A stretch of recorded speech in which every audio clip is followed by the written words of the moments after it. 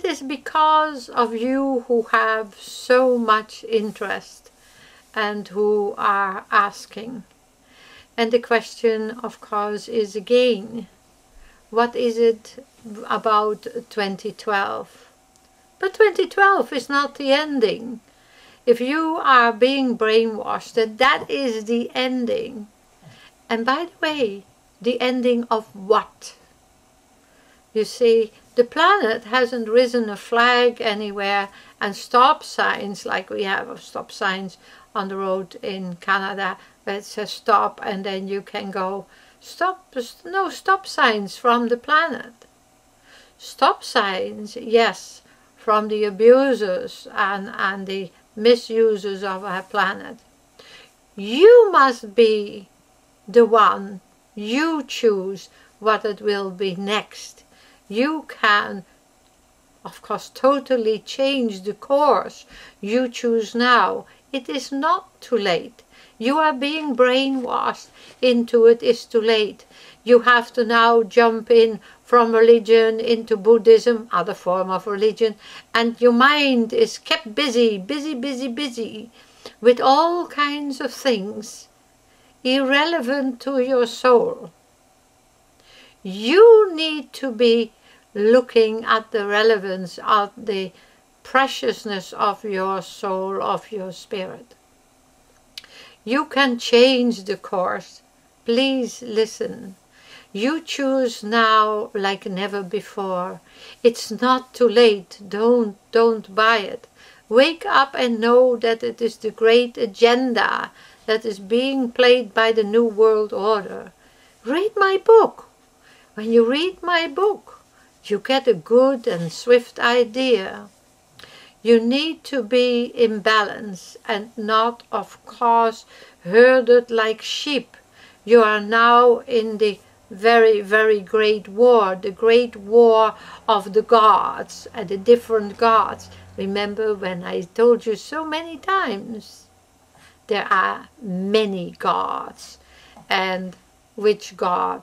When we go to every country in the world, we find different gods and uh, you know in Norway we know there's a place they have a, a, a solid gold goat and this goat at, at one time was worshipped and maybe it is prepared to be worshipped again because it is sitting in a, in a cellar, in a basement.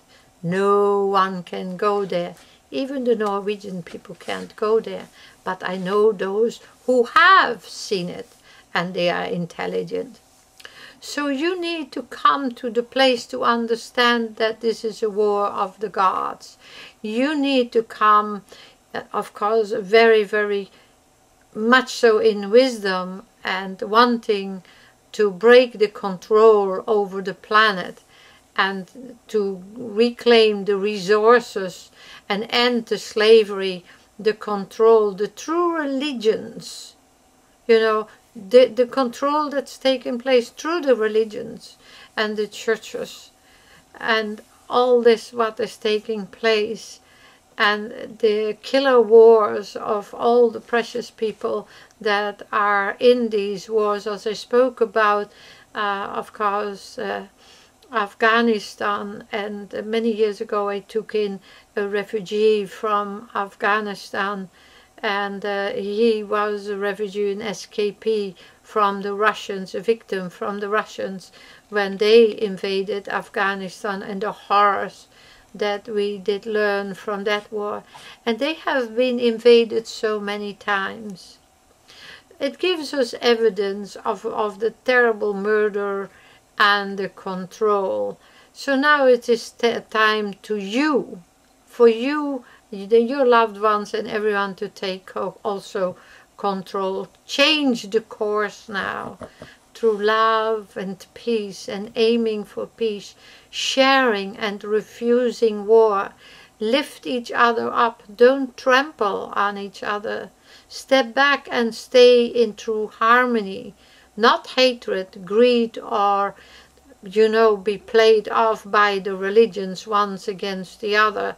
Christian versus Muslim or Jew versus Muslim versus Christian and it goes on and on and on. And because we were so ancient and we are not a religion, the followers of Zarathustra are not a religion. We are not in Mithraism. We are not in any of these things other than that we are waiting for the return of the gods.